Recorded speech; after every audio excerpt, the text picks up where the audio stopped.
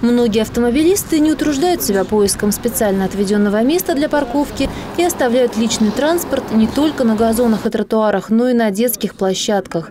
В адрес Госадмтехнадзора поступают многочисленные жалобы жителей. Мы находимся на детской площадке во дворе этого дома. Тут их две, в принципе. А на данной площадке паркуется очень много автомобилей.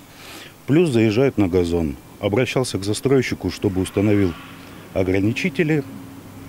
Решения нету. Стоит отметить, что данное нарушение не только портит общую картину, но и разрушает элементы дороги. В данный момент в микрорайоне происходит замена бордюров. Госадмтехнадзор предупреждает, за все виды данного нарушения следует денежное взыскание с нерадивых автомобилистов. Меры будут предприняты к каждому водителю, который мы сегодня зафиксировали. Будет предпринята мера административного воздействия. Ему придет штраф по почте, в котором будет указана сумма и квитанция, куда оплачивать. И фотографии вот, с датой и местом нарушения.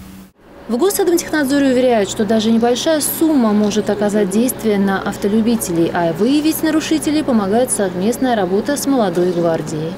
Наши активисты, молодогвардейцы проводят мониторинг, э, где э, такая проблема существует, где паркуется на зеленых насаждениях, и передают информацию уже Госамтехнадзора. Число машин увеличивается, как и число несанкционированных парковок. Сегодня большие надежды возлагаются на расширение парковочного пространства и комплексное благоустройство, которое проходит в Ленинском районе. Людмила Медведева, Виктория Филатова, Татьяна Брылова, Евгений Петров, Елена Кошелева, Видное ТВ.